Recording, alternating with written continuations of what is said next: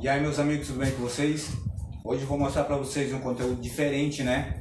Que é uma remarcação de chassi do veículo, tá? Vou mostrar para vocês porque eu passei por esse tipo de problema e de repente algum de vocês aí precisarem, né? Vendo esse vídeo já tem aí uma noção de como fazer todo esse processo, beleza? Eu espero que vocês gostem do vídeo. Deixa o joinha aí para nós, compartilhe e ative o sininho aí para receber a notificação dos nossos vídeos, beleza?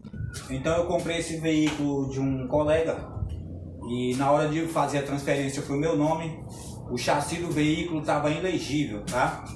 Quando acontece isso, a gente tem que fazer a remarcação do chassi, tá? Então isso é perante o Detran. Eu tive que ir um despachante da minha confiança, que eu trabalho com ele há muito tempo, certo? Aqui na região. E aí ele deu entrada nesse processo para mim, só que você também pode ir direto no Detran e dar entrada nesse processo, certo?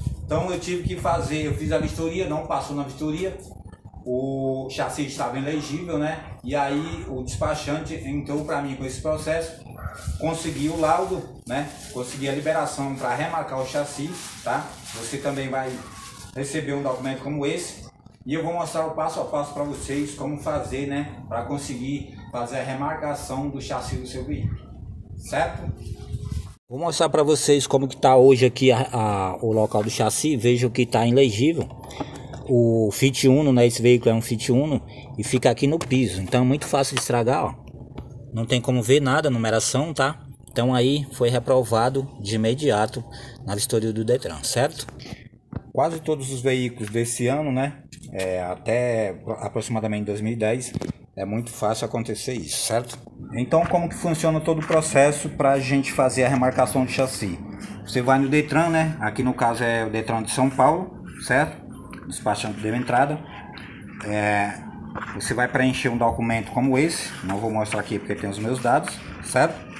Você preencheu, vai esperar de um a três meses, né? Para receber o retorno do Detran o, a documentação já tudo assinado, liberado para você fazer a remarcação, certo? Daí você vai pegar o documento e vai até a oficina, né, especializada e credenciada, tá? Para fazer esse tipo de processo, certo? Com a liberação do Detran, você vai até a oficina.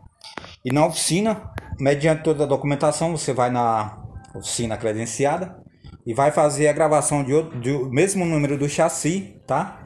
Porém, vem com o nome Remarque, né?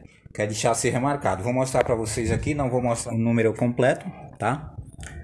É, então a remarcação fica aqui, ó. Nessa coluna do amortecedor, tá? Ficou aqui no caso do meu, não, não sei se todos ficam aqui. E aqui fica o número, né? Regravado do chassi, certo? Só que vejam que tem um número no, no final aqui, remarque, tá? De chassi remarcado, ok? Alguns falam que veículo com chassi remarcado desvaloriza, né? Nesse caso aqui o veículo como é antigo, né, um veículo bastante usado, eu acredito que não vai desvalorizar tanto. Então vejo que ficou remarcado aqui, certo? Aqui praticamente não oxida, né? Porque como vocês viram onde era marcado original, o chassi é, pega muita umidade e rapidamente oxida tudo e perde a numeração, certo? Então esse é o processo para remarcar o chassi do veículo, tá? Eu passei por esse processo e aí estou passando para vocês como é feito todo o processo, para que vocês aí tenham mais facilidade na hora de remarcar o chassi do seu veículo, se tiver necessidade, beleza? Lembrando para vocês que é um processo um pouco demorado, tá? De quando eu dei entrada até hoje, que eu fui remarcar esse chassi hoje, consegui remarcar hoje, Demorou aproximadamente cinco meses todo o processo, tá? Para liberação do Detran, para marcar e até conseguir é, remarcar, que remarquei hoje, é, demorou cinco meses. Lembrando que tem que levar o documento original do Detran. Se você levar cópia, os caras não aceitam, os caras da oficina não aceitam remarcar, beleza? Tem que levar o original, levar o documento do veículo para você conseguir fazer a remarcação, ok? Depois disso, depois desse processo de remarcar, eu ainda vou ter que voltar no despachante, né, da minha confiança, que ele deu entrada, e ele vai remarcar uma vistoria no Detran para poder eu conseguir fazer a transferência do carro para o meu nome, certo? Então, depois que a oficina faz todo o processo né, de gravação do chassi, de remarcação, te dão um laudo como esse, né, para você apresentar com o nome da oficina, a data, tudo certinho, a cidade que foi feito, né, com decalque, que são essas numerações aqui, que é o decalque do chassi, né, mediante a documentação você vai dar entrada novamente no sistema, no Detran, para conseguir finalmente, né, fazer a transferência do seu veículo para o seu nome ou para o nome do proprietário no caso se for outra pessoa, certo? Então é todo esse processo para fazer a remarcação de chassi, certo? Não é um processo muito rápido, é um processo um pouco lento, mas aí eu tô passando todas as dicas para vocês, para que se alguém aí tiver necessidade de fazer uma remarcação de chassi, já tenha uma noção aí, né? Porque realmente é um processo um pouco demorado, mas que realmente dá certo e sai com o chassi remarcado, porém chassi novinho aqui, como vocês podem ver, tá? Bem legível.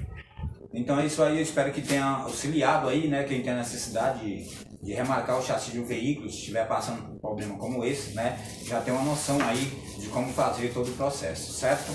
Lembrando que você tem que dar entrada no Detran, se for reprovado, remarcar o chassi, né, com a liberação do Detran, certo?